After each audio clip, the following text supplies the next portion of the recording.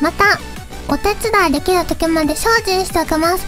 えーとね、次お手伝いしてもらう時は、粉塵の用意を超合分と、まあ、あとは広域化などなどね、つけて準備をしておくといいかもしれないです。ルナタもね、今、粉塵用の素材を作って、いつか、ホルメでやるとき用にね、あ、あの作ってるかな。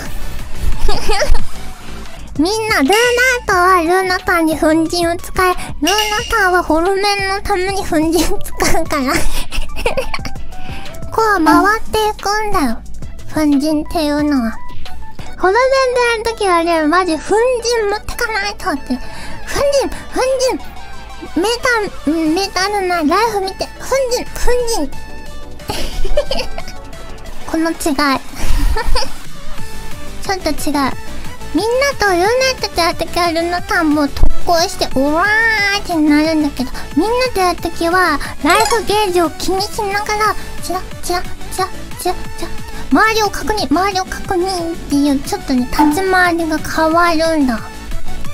今日あんまりみんなのね、ライフゲージ見てなかったもん。粉塵使ってない。ルナイトの時は、みんな大丈夫そう強いしって。見てないの。でもホルメの時、あ、やべ減ってる減ってると思って。回復回復。だってルナイト強いでしょ？強いから大丈夫でしょ？余裕でしょ？なんかこのアップしたのだけどさ、そこのね、コメントにね、ルナタンの見やすいってあった。